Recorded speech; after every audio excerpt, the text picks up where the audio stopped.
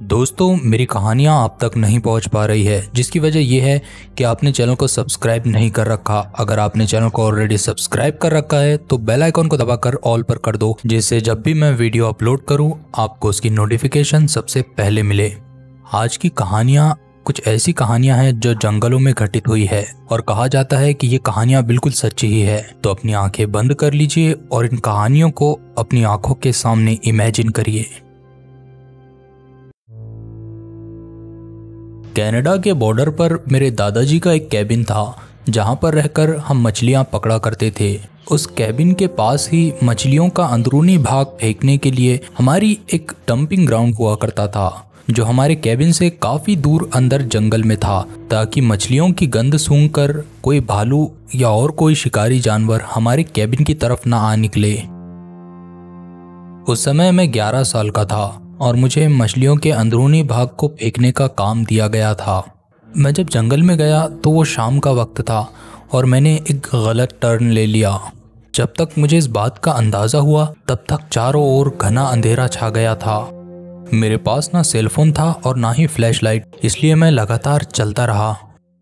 आखिरकार मुझे वो डंपिंग ग्राउंड भी मिल गया, जहाँ पर हम मछलियों के अंदरूनी भाग को फेंका करते थे। मछलियों की दुर्गंध के साथ मैंने वहाँ एक बड़े से जानवर को भी महसूस किया। वो मुझसे करीब 20 फीट की दूरी पर था। मैं बिल्कुल धीमे धीमे कदमों से अपनी कैबिन की तरफ़ वापस लौट गया और किसी तरह से मैं अपने कैबिन में जा पहुँचा।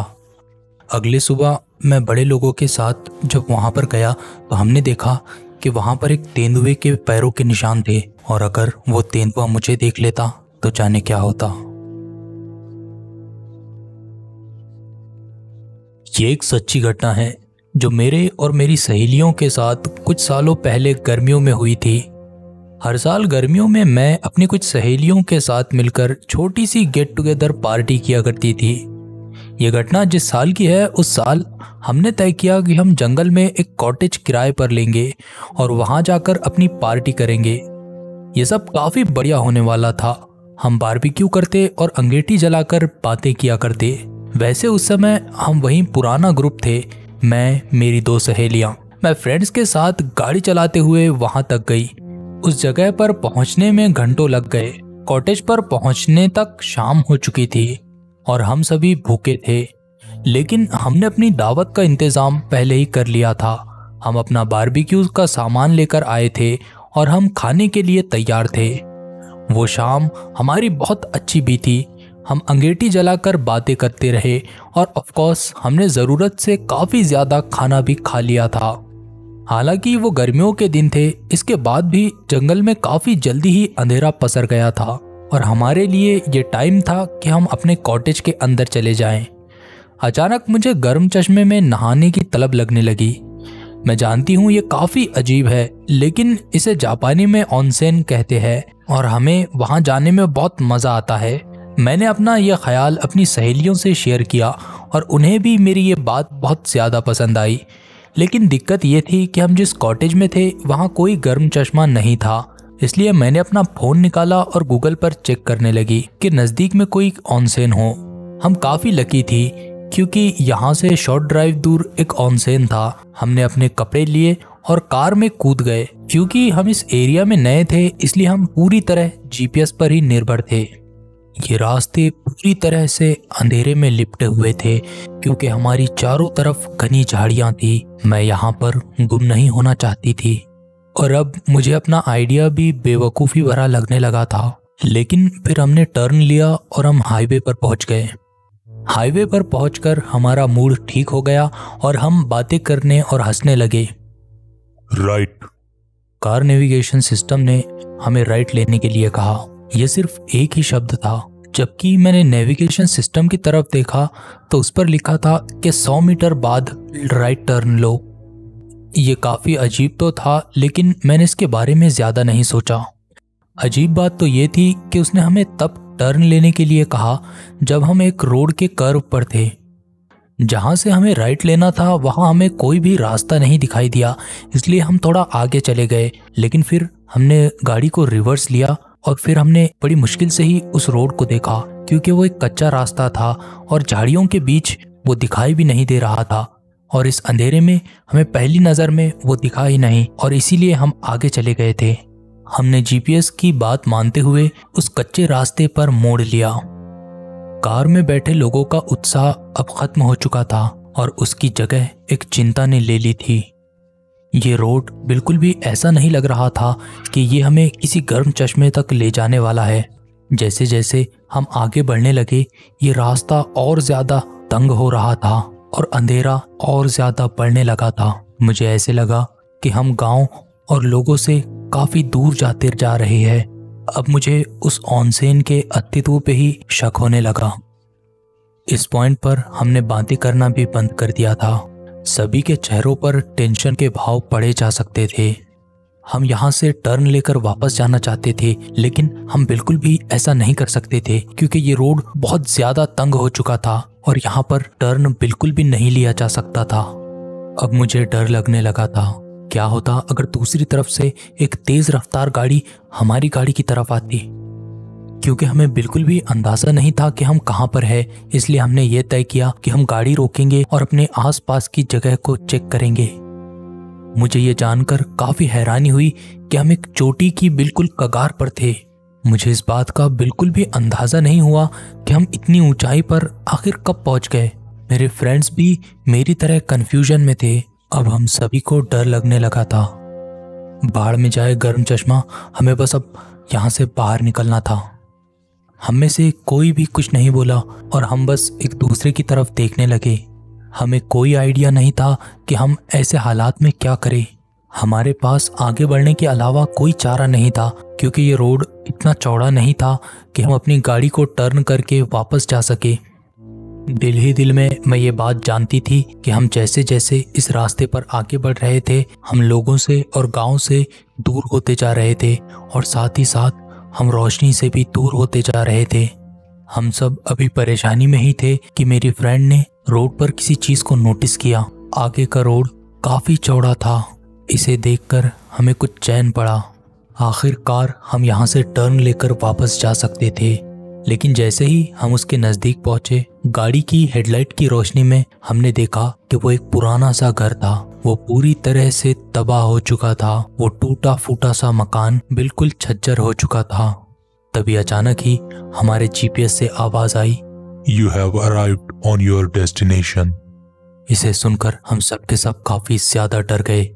लेकिन शायद ये भी कम नहीं था कि इसके बाद हमारी गाड़ी की इलेक्ट्रिसिटी चली गई और हमारी गाड़ी वहाँ पर बंद पड़ गई।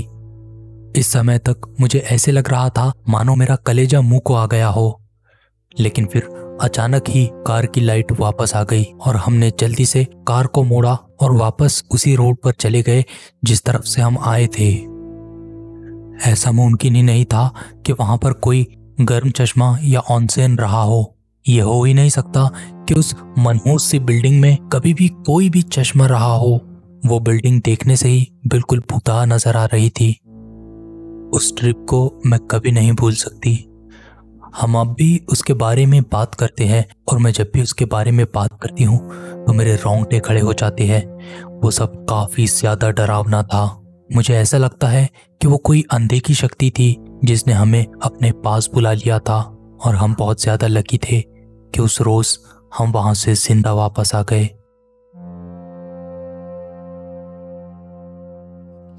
ये बात उस समय की है जब मैं 19 साल का था। मैं अपने दो दोस्तों के साथ सेंट्रल ओरिगॉन के एक दूर दराज इलाके पर कैंपिंग के लिए गया था। जहाँ हम हाइकिंग करने वाले थे, उसकी मेन सड़क पर पहुँचने के लिए ही घंटों की ड्राइविंग करनी पड़ती थी।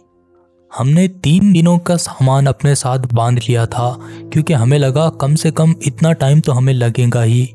उस समय हम काफ़ी नौजवान थे और हमें बिल्कुल भी इसमें एक्सपीरियंस नहीं था।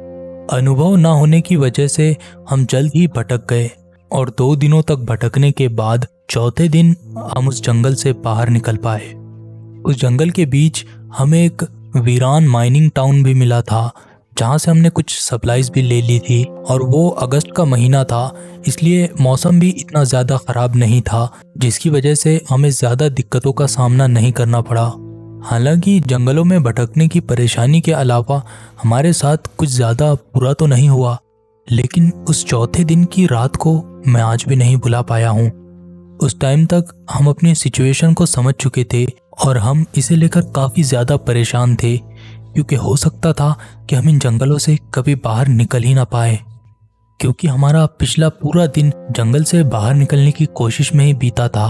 उस रात तक हम बहुत ज़्यादा थक गए थे, इसलिए हमने वहीं पर अपना कैंप लगाया और अपनी बुझती हुई कैंप फायर के अंदर और लकड़ियाँ डाली, जिसके बाद हम ऊपर चढ़कर अपने टेंट में चले गए।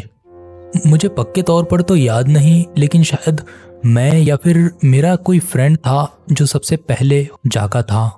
मुझे ये भी अब सही से याद नहीं है कि आखिर क्या चीज़ थी जिसकी वजह से हम बीच में ही जाग पड़े थे, लेकिन जागने के बाद हमने जो कुछ सुना वो किसी टेलीग्राफ की तरह था, या फिर आप ये समझ लो कि वो पुराने टाइपराइटर जैसी कुछ आवाज़ थी। हालाँकि वो काफ़ी ज़्यादा मध्यम थी, लेकिन वो लगातार आ रही थी। और आप अगर बराबर कान लगाकर सुनो तो वो लगातार क्लिक्स और टैप्स की आवाज़ें आती जा रही थी। मैंने अपना सर अपने बिस्तर से निकाला और बाहर देखा तो मेरे दोस्त भी खड़े अंधेरे में घूर रहे थे। अब ये बात पक्की हो चुकी थी कि हम तीनों ने ही वो आवाज़ सुनी थी। लेकिन इसके बारे में किसी ने भी कुछ नहीं कहा। हमारी अंगेठी की आग अब काफ़ी ज़्यादा धीमी हो चुकी थी और उसके ऊपर राख की एक परत जम गई थी। आसमान पर भी काले घने बादल छाए हुए थे, जिसकी वजह से हम काफ़ी दूर तक कर नहीं देख सकते थे। वो आवाज़ काफ़ी धीमी थी और हम सही से अंदाज़ा नहीं लगा सकते थे कि आखिर वो आवाज़ आ कहाँ से रही है। मैं बार बार को ये दिलासा दे रहा था कि हो सकता है ये किसी गिलहरी की या किसी वुडपैकर की आवाज़ हो। इससे पहले कि हम में से कोई भी कुछ कहता, एक नई तरह की आवाज़ से हमारा सामना हुआ। ये आवाज़ भी काफ़ी ज़्यादा धीमी थी, लेकिन ये आवाज़ उन सभी आवाजों से काफ़ी अलग थी, जिसे आमतौर पर आप जंगलों में सुन सकते हो। ये आवाज़ ऐसे लग रही थी जैसे किसी ट्रांसमीटर से आ रही हो, जैसी आपने नासा की डॉक्यूमेंट्रीज में सुना होगा। ये बिल्कुल वैसी ही आवाज़ें आ रही थी। लेकिन उसके साथ साथ हल्का हल्का म्यूज़िक भी सुनाई दे रहा था। ऐसे लग रहा था जैसे कोई ऑर्केस्ट्रा बजा रहा हो। अजीबो गरीब आवाज़, फिर स्टैटिक की आवाज़ और फिर ऐसी आवाज़ जैसे कोई इंसान बोल रहा हो, लेकिन हम उन शब्दों को समझ नहीं पा रहे हो। इस तरह की आवाज़ें हमें लगातार सुनाई दे रही थी। फिर हाई पिच बिप्स और फिर शांति, फिर म्यूज़िक फिर स्टैटिक फिर बीप और इसी तरह की आवाज़ें हमें लगातार सुनाई दे रही थी। कभी कभार एक मिनट तक बिल्कुल स्टैटिक की ही आवाज़ें आने लगती थी, लेकिन फिर दोबारा से उसी तरह की आवाज़ों का सिलसिला शुरू होता। और फिर दोबारा से स्टैटिक की आवाज़ आने लगती। ये सारी आवाज़ें करीब आधे घंटे तक चलती रही थी, लेकिन उस समय हमें ऐसे लग रहा था जैसे घंटों बीत गए हो। उस रात हम में से किसी को भी बिल्कुल नींद नहीं आई। अगली सुबह होते ही हम वहाँ से निकल गए और हम थके हुए थे, लेकिन हम लगातार चल रहे थे, क्योंकि हम एक और रात इस जंगल में नहीं रहना चाहते थे। इस ट्रिप से निकलने के बाद हम में से किसी ने भी इस हादसे के बारे में कुछ नहीं कहा। हमने इसके बारे में बात ना करने की कभी कसम वगैरह या इस तरह से कुछ नहीं किया था, लेकिन इसके बावजूद भी हमने इसे पूरी तरह से इग्नोर किया था। हम में से किसी ने भी कभी इस टॉपिक के बारे में बात नहीं की। और इससे पहले कि कोई हम पर शक करने लग जाए तो मैं आपको बता देता हूँ कि हम में से किसी ने भी कोई नशा नहीं कर रखा था। यहाँ तक कि हमने शराब भी पैक नहीं की थी। मैं अब अट्ठाईस साल का हूँ और अब मेरा उन दोनों दोस्तों के साथ भी ज़्यादा मिलना नहीं है। लेकिन उस रात क्या हुआ था, इस बात को मैं आज भी नहीं समझ पाया हूँ।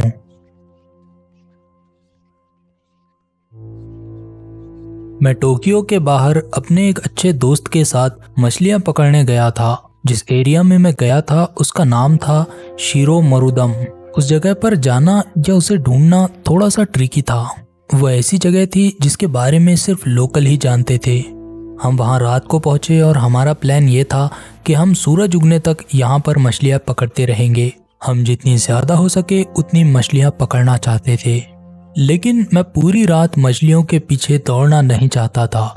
इसलिए मैंने अपनी रॉड पानी में डाली और बैठकर अपने दोस्त से बात करने लगा। कुछ देर बाद मुझे थोड़ी हरकत महसूस हुई। मैंने जल्दी से फिशिंग रॉड उठाई और उसे खींचने लगा। मैं एक बड़ी मछली से लड़ने के लिए तैयार था। लेकिन हैरानी की बात यह है कि जैसे ही मैंने खींचना शुरू किया, मुझे कोई भी प्रतिरोध का सामना नहीं करना पड़ा। ये देखकर मुझे ऐसे लगने लगा कि शायद हो सकता है कि मछली मेरा चारा काट कर भाग गई हो। खैर, जो भी था, मैं अपनी रील को लपेटने लगा। रील को लपेटते हुए मुझे बिल्कुल भी भार का एहसास नहीं हुआ। वो चीज़ जो भी थी, काफ़ी हल्की थी। मैं धीरे धीरे उसको लपेटता गया। जैसे ही रील का आखिरी छोर पानी से बाहर निकला, उसे देखकर मेरा दिल ज़ोर से धड़कने लगा, क्योंकि ये एक बड़ा सा बालों का गुच्छा था और ये बाल इंसानी बाल थे। मैंने अपनी दोस्त की तरफ़ देखा, जो मेरी इस कारस्तानी को देख रहा था और उसका चेहरा भी बिल्कुल चम गया था। मैंने तुरंत ही अपनी छड़ी ज़मीन पर फेंक दी। मैं अपनी महँगी फिशिंग रॉड को जाने नहीं देना चाहता था, इसलिए मैंने डोरी को काट दिया और मैं पानी के अंदर उस बालों के गुच्छे को जाते हुए देखता रहा। अभी सूरज निकलने में काफ़ी देरी थी, लेकिन उस हादसे के बाद मेरा और मेरे दोस्त का बिल्कुल भी मन नहीं कर रहा था कि हम और ज़्यादा फिशिंग करें। उसके बाद हम वहाँ से निकल गए। वहाँ से वापस लौटते समय हम कार में इस बारे में बात करने लगे कि आखिर वो किसके बाल हो सकते हैं। और फिर धीरे धीरे हमारी बातें भूतों की कहानियों की तरफ़ मुड़ गई और हम एक दूसरे को भूतों की कहानियाँ सुनाने लगे। इससे हमारा थोड़ा टेंशन भी कम हो गया था। रोड पे आए उस बालों के गुच्छे को अब हम एक कहानी की तरह ही देखने लगे थे, ना कि एक सच्ची घटना की तरह, जो कि अभी अभी हमारे साथ हुई थी। हालाँकि मैंने मन बना लिया था कि मैं इसके बारे में घर जाकर पुलिस को बताऊँगा, लेकिन मैं घर जाने तक कुछ नहीं कर सकता था, क्योंकि अभी भी हम जंगल में ही थे। मैं अपने दोस्त को एक भूतिया कहानी सुना रहा था, जो मैंने कहीं से सुनी थी, और मेरे हिसाब से वो कहानी काफ़ी बढ़िया थी।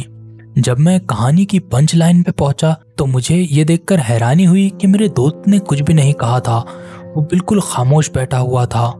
मैंने उससे कहा अरे भाई, मैं यहाँ पर गाड़ी भी चला रहा हूँ और तुम्हें कहानियाँ भी सुना रहा हूँ और तुम मेरी कहानियाँ सुनने के लिए भी तैयार नहीं हो। मैं भी थका हुआ हूँ, लेकिन तुम ऐसे सो तो नहीं सकते, क्योंकि मैं यहाँ पर गाड़ी चला रहा हूँ और तुम यहाँ पर सो रहे हो। ये बात तो बिल्कुल सही नहीं है। मैं उससे काफ़ी नाराज़ हो गया था, इसलिए मैंने उसकी तरफ़ देखा और उसकी तरफ़ देखकर मैं हैरान रह गया, क्योंकि वो सोया नहीं था, बल्कि वो तो जगा हुआ था। लेकिन जब मैंने उसके चेहरे की तरफ़ देखा तो वो बहुत ज़्यादा भयभीत नज़र आ रहा था और वो पैसेंजर साइड की विंडो की तरफ़ देख रहा था। मैंने उससे कहा कि, यार, तुम मुझे डरा रहे हो। तुम यहाँ मुझसे मज़ाक कर रहे हो? मैंने उससे पूछा, वहाँ कोई औरत है? क्या? वहाँ कोई औरत है। वो रोड की साइड पर खड़ी है।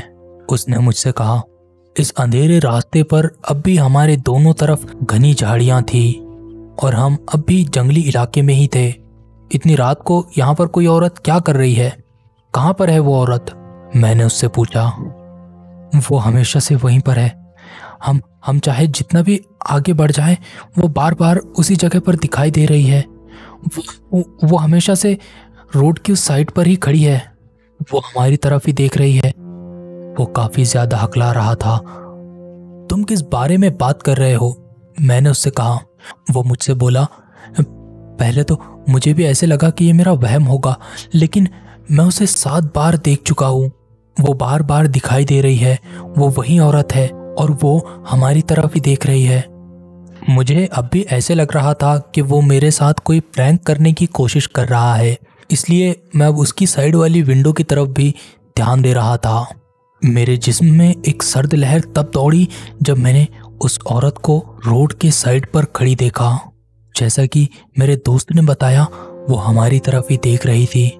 मैंने अपने दोस्त की तरफ़ देखा और वो बस खामोशी से अपना सर हिलाने लगा। हम खामोशी से मीलो अपनी गाड़ी दौड़ाते रहे। वो औरत हमें बार बार दिखाई दे रही थी।